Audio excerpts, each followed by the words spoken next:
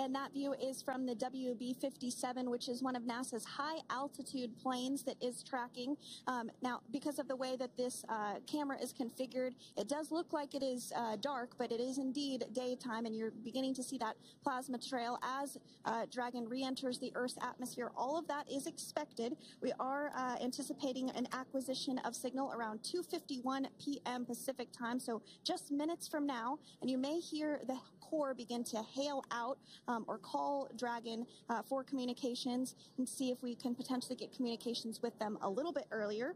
Following this, we'll have two events in rapid succession. We'll have the drogue parachutes deploy at 2.53 p.m. Pacific, followed by the mains just one minute later at 2.54 p.m. Pacific time, ahead of a splashdown at 2.57 p.m. Pacific time off the coast of Tallahassee, Florida.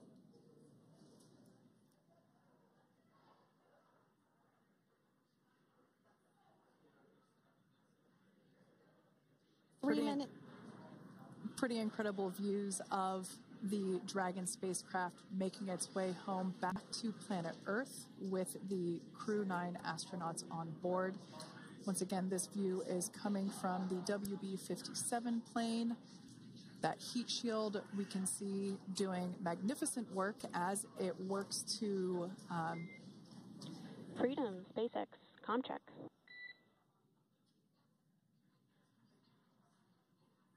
All right, we're going to start hearing uh, the SpaceX Crew Operations Resource Resource Engineer.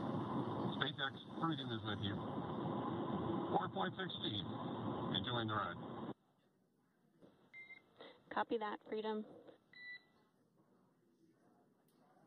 Great news there from Commander Nick Hague reporting back. We see a healthy flight computer. Expect automated chute deployment. Freedom copies. Like we said before, things moving very quickly as Dragon Freedom makes its way home. Next event uh, coming up will be deployment of the drogue parachutes. This occurs around 18,000 feet. GPS has converged. Expect nominal altitude for drogue chute deployment.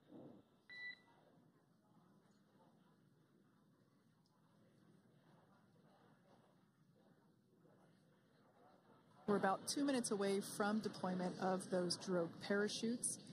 Now the heat shield uh, is is continuing to work to slow the vehicle down. That that entry period, the the space the me, the the Dragon spacecraft went from orbital velocity about 17,500 miles per hour down to about 350 miles per hour. So that really gives you a sense of why that plasma builds up on the exterior of the capsule, thanks to the heat shield and the work that it does. Those drogue parachutes will slow it down from 350 to uh, about 119 miles per hour. We can see 15 kilometers. Brace for drogue window. we can see seat rotation happening inside the capsule. Great to get those first views of our crew members. Once again, the capsules are going about 350 miles per hour when the drogues are deployed. Um, those drogue parachutes that we manufacture here in house are uh, going to slow the, the, the spacecraft down to 119 miles per hour. And that is when we will see the main parachutes deploy, and that occurs about 6,000 feet above the ocean's surface. And we are expecting drogue deployment at 2:53 p.m. Pacific, so we should see it any second now. And there you are getting a great view of Crew 9 inside Dragon Freedom as it returns back to Earth. We are awaiting the drogue deploys. This view coming from the WB-57 high altitude plane. And there you see it on your screen, drogue deployment. Drogue descent rate nominal. You can hear the crowd here. Visual on two healthy drogues. Crowd here very excited as Dragon Freedom continues to make its way back to planet Earth.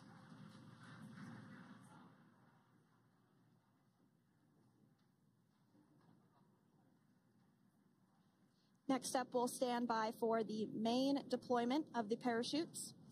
The mains are quite a bit larger. You'll be able to notice the difference on your screen once they deploy, and they continue to ensure that the Dragon uh, spacecraft slows down even further As we mentioned, Freedom will be traveling 16 miles per hour when it splashes down off the coast of Tallahassee, Florida, here at 2:57 p.m. Pacific time this afternoon. And there we go. We have visual on four healthy mains. That view was from inside. Freedom copy.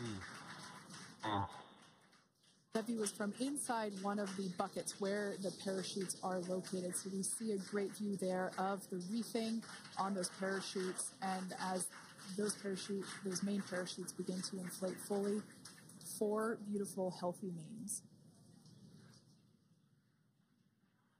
Now awaiting visuals of splashdown. X Freedom, We'll start to hear Commander Nick Hague Copy 1000.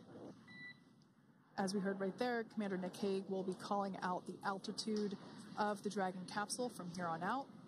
Landing in water is simpler and provides more margin against unlikely parachute issues. You can see those uh, those parachutes continuing to slow the Dragon capsule down. And if you're just joining us, you're looking at 800 meters. a live view of Crew 9 just minutes away from splashing down off the f- coast of Tallahassee, Florida. Splashdown two minutes from now at 2:57 p.m. Pacific. We do have four healthy mains really doing the job there. Just breathtaking views of a calm, glass-like ocean off the coast of Tallahassee, Florida. Crew 9 just minutes away from splashing down. This is really such an incredible shot. Uh, that Copy was 600. That was a live view from our recovery vessel, uh, Megan, which is stationed a couple miles away from the splashdown site. We can see the crew there using their uh, their restraints as resting places for their arms. They were just in space moments ago, so their arms were able to float freely. 400 meters. This is a gorgeous bluebird day here that we have for the splashdown of Crew 9. It's incredible to think that the Dragon capsule just minutes ago was going over 17,000 hun- 17,000 miles per hour and now gently coasting to a soft splashdown 200. Copy 200 meters. Brace for splashdown.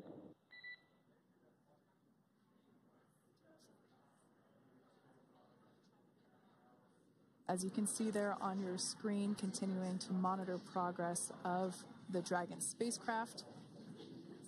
And we're going to stand by for splashdown located in the Gulf of America um, off the coast of Tallahassee, Florida.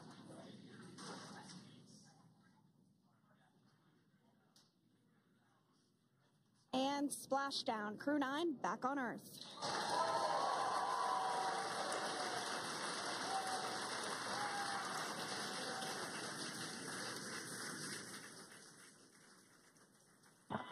And SpaceX Freedom, splashdown. Good main release. Copy splashdown. We see main chutes cut. Nick, Alex, Butch, Suni, on behalf of SpaceX, welcome home.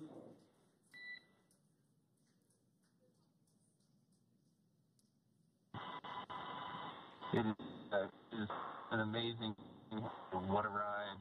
I see a capsule full of grams ear to ear.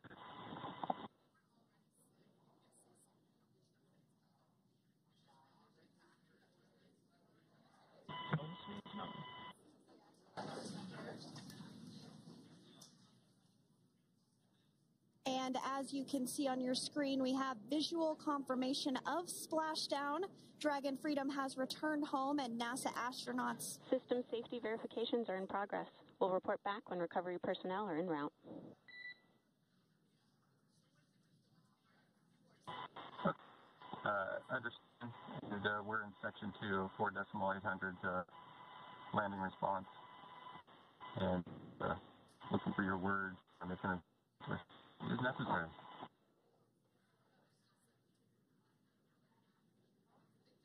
In the distance, we can see the recovery vessel making its way.